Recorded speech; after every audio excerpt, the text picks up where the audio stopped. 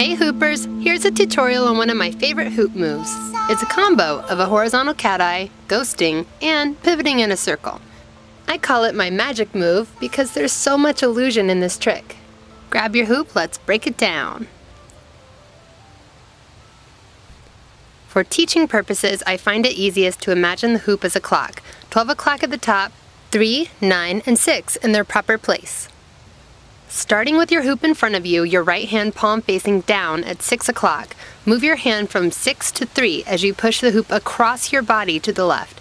Your right arm should be straight, crossing your body, and the hoop should be on your left side. Don't keep the hoop in front of you, push it to the left.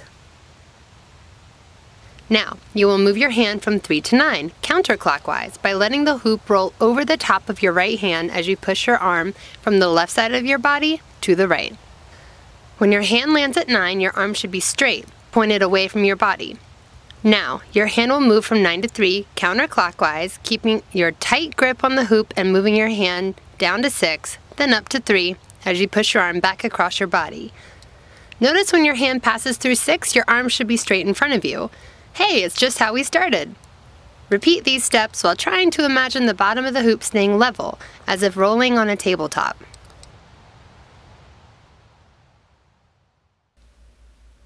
This move is super important because when you are ghosting, only your right hand is doing the work.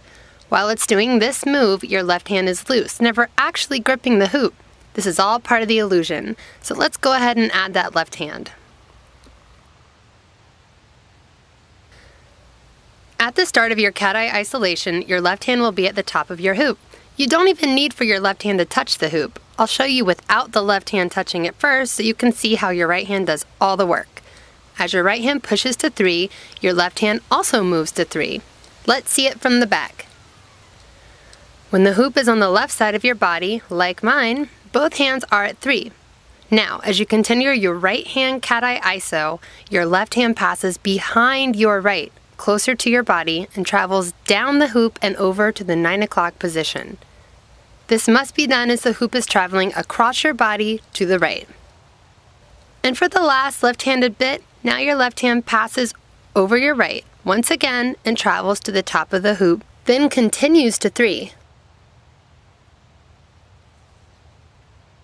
I know there's a lot of left, right, top, bottom. This is a very hard trick. Don't be discouraged if you aren't getting it yet. Just remember, your left hand and right hand meet at 3 and at 9. But other than that, they stay on opposite sides of the hoop. Once you get this, and you will with practice, you can add the turn. The reason why we learn the ghosting cat-eye isolation first is because you need to understand that rhythm and that your left hand barely touches the hoop before you can start turning. But there is a big difference with the way your right hand stays on the hoop when you turn.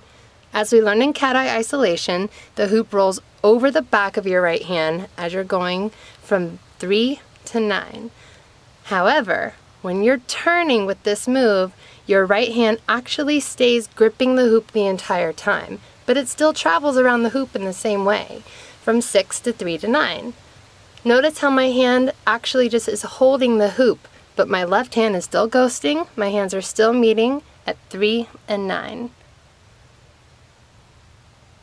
When I push my hoop out to the left side of my body, I keep my left leg planted firm in the ground and I put my right foot in front of my left. Turning over my left shoulder, I push the hoop out to three. Keeping that left foot planted, I pick up my right again and turn to face the front, pushing the hoop to nine. You can play around with this. I think it looks great when the hoop looks like it's pulling you from one side to the other.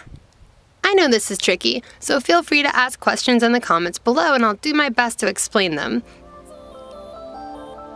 Thanks for watching and if you like what you see, subscribe to our channel. Happy hooping!